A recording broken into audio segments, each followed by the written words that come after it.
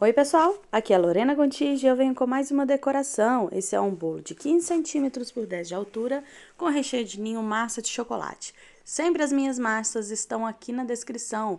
As minhas receitas tá lá no Lorena's Flix, tá? Todas as minhas receitas se encontram no Lorena Flix.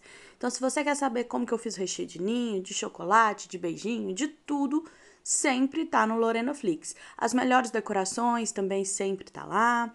Enfim, Bora lá? Tô fazendo uma blindagem aí no meu bolo, tá? Esse bolo vai para longe. E por milagre, eu estou levando esse bolo que eu já ia também pro mesmo lugar que seria a festinha, meu antigo, aonde eu morava antigamente. Então vamos lá, gente. Eu tô passando aí a minha ganache. Essa ganache, ela é 15% creme de leite. Eu sempre tô fazendo diferente, gente, para me testar. Diferentes texturas, diferentes formas, como que ela reage de um jeito, como que ela reage de outro, tá? Então, às vezes eu coloco 10%, às vezes eu coloco 15, 20%, é o máximo que eu coloco é 20%, tá? Para mim realmente ver como que a ganache se comporta na, na, com aquela proporção de creme de leite, tá bom?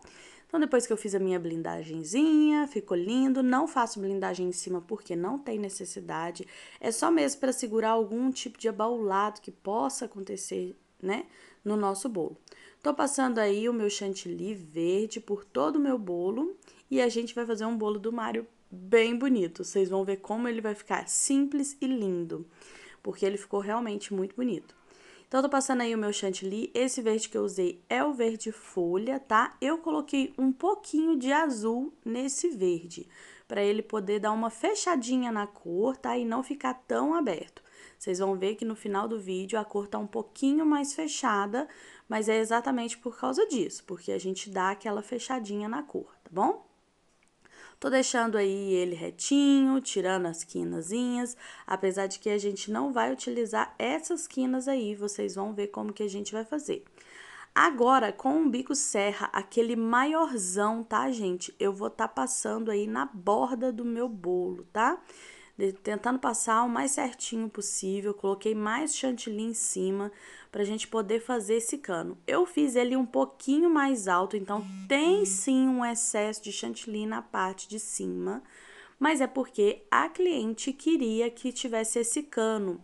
E para ficar proporcional, o cano, entendeu? Eu fiz ele ficar desse jeito, entendeu? Eu coloquei ele um pouquinho mais alto, o bolo um pouquinho mais alto, mais chantilly na parte de cima, para que tenha espaço para a gente fazer um, um cachepô na parte de baixo. Vocês vão ver também como que é o cachepô. E agora aí eu tô alisando, deixando ele mais certinho. Eu fui com a folhinha de acetato, acertando as laterais, acertando a parte de cima, enfim, até deixar ele retinho. Pessoal, recadinho importante. Olha, o canal Casa dos Gontijo tá lá de vento em popa. Agora a gente está começando com uma reforma, uma pequena reforma lá na parte externa, aonde que eu tô mostrando para vocês como que vai ficar lá certinho, como que vai ficar o nosso estúdio, é, para as nossas gravações ficarem melhores nos, dos nossos bolos, tá? E corre então lá para ver sobre o meu dia a dia, faxina, enfim, essas coisinhas mais íntimas é lá na Casa dos Gontijo, tá bom? O link também tá sempre aqui na descrição do nosso canal secundário, tá bom? Gente, vamos lá. Agora, vocês estão vendo que tem uma certa dificuldade pra gente deixar ele mais retinho possível? Então, mas se você for com a folhinha de acetato, tem como deixar ele mais certinho, tá? Vai devagarzinho, faz devagarzinho, que dá certo sim. Agora, com o marrom, eu tô com um bico perlê aí também mais fininho. Eu vou passar essas três tirinhas aí e eu tenho essa espátula pequenininha. A cliente queria três é, sequências de tijolinhos, tá? Então, eu falei com ela, eu falei, olha, eu vou tentar o mais próximo de três sequências de tijolinhos, porque a gente vem com a espátula, pode ser a mais, pode ser a menos, né? Então eu expliquei, essa cliente, gente, ela é minha cliente há muito tempo e ela é muito maravilhosa, ela sempre pede, os bolos dela sempre aqui no canal bomba. Eu acho que é a vibe que ela tem, sabe? Ela é muito gente boa. Então todos os bolos dela sempre bomba aqui no canal, todos. não tem um bolo dela que não é bem visualizado aqui.